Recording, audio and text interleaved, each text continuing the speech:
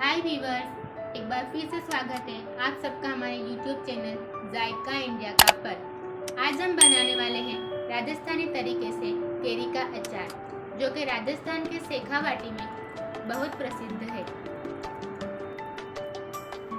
केरी का अचार बनाने के लिए हमने यहाँ पर ली है आधा किलो केरी, एक टीस्पून नमक और एक टीस्पून हल्दी पाउडर।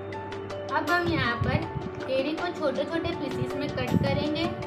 उसमें नमक और हल्दी डालकर उसको बढ़िया से मिक्स कर देंगे और 24 घंटे के लिए इसे सूखने के लिए रख देंगे। हल्दी, नमक और केरी का हमने जो मिश्रण तैयार किया था, वो तो 24 घंटे के बाद कुछ इस तरह दिखेगा। अब हम इसमें अचार के बाकी के मसाले ऐड कर देंगे। यहाँ पर हमने लिया है दो बड़ी चम्मच लाल मिर्च पाउडर, एक बड़ी चम्मच सौंफ, एक बड़ी चम्मच कलौंजी और दो बड़ी चम्मच मेथी। यहाँ पर हमने जो मेथी ली है, उसको हमने आधे घंटे के लिए पानी में भिगोकर सुखा दिया था। उसके बाद हमने इसमें गरम तेल ऐड किया था।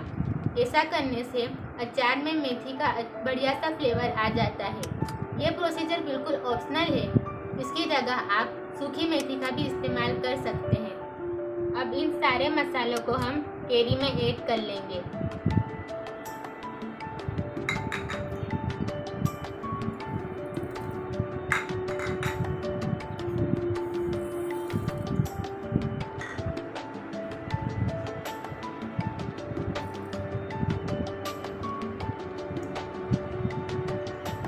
अब हम इन सारे मसालों को केरी के साथ अच्छे से मिक्स कर देंगे।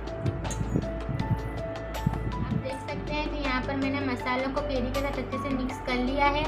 अब हम इसको एक एयर टाइट जार में ट्रांसफ़र कर देंगे। यहाँ पर हमने जो तेल लिया है, उसको हमने पहले गर्म किया था और ठंडा होने के बाद हम इसे अचार के मिश्रण में ऐड करेंगे।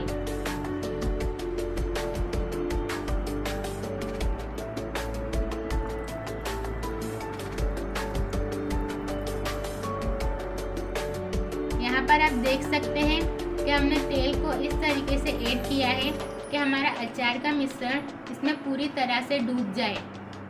अब तकरीबन एक हफ़्ते के बाद हमारा अचार खाने के लिए बिल्कुल तैयार हो जाएगा। आपको हमारी रेसिपी कैसी लगी? हमें कमेंट बॉक्स में कमेंट करके ज़रूर बताएँ। हमारी वीडियो को लाइक और शेयर करें और हमारे चैनल को सब्सक्राइब करके बेल आइकन दबाना ना भूलें।